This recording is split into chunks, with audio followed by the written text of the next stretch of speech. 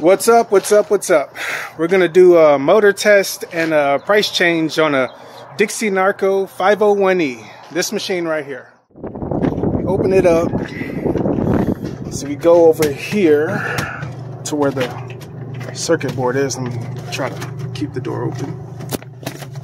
See, mine's kind of missing the panel. I'm gonna press that button right there one time. Be careful not to close this this door right here because it'll push the door switch and it'll take you out of the menu. And see, it didn't do it, so I'm gonna press it again. All right.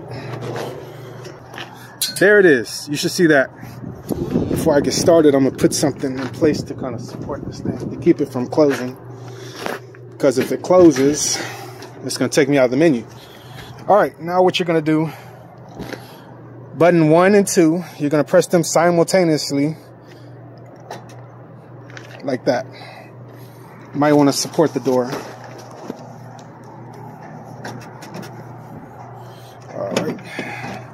Support the door. Press them simultaneously and hold them down. So you go through the menu just like that. Okay. Let's return. That is set price. So you start with the first selection. See, I got it at a dollar fifty. So if you want to raise it, you just hold it down, or lower it rather. If you want to raise it, you release it for one second, you hold it down again, and it should go back up in the opposite direction. And you do that with all of them. It's like that one. Let's see. You hold it down. You release it for one second. You hold it down again, and it goes back up. You do that for all of them. When you get done, you just go through the menu like that, holding both of those down simultaneously. So you have user and diagnostics, I believe, that have the sub menus. So we need to go into the sub menu to do a motor test. And that would be diagnostics. So to enter the sub menu, you're going to press and hold button one.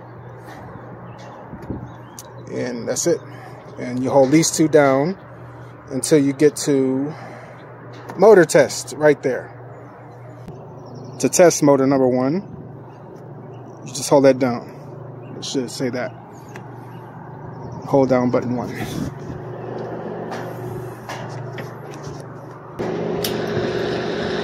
Just like that. To get the motor two, you're gonna press and hold button one and two again, just like that and you hold down the button one.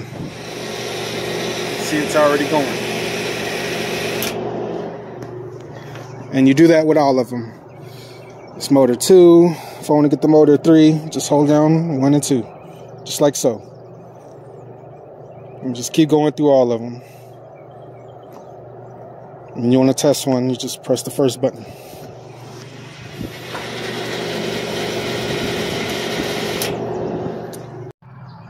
I also forgot to mention when you want to get out of a particular menu, you scroll down pressing buttons one and two until you see RTN on the screen, like how it is right here. And then you press button one to go back into the previous menu. And that's it. And when you're done, just press the mode button on the board and it should take you out.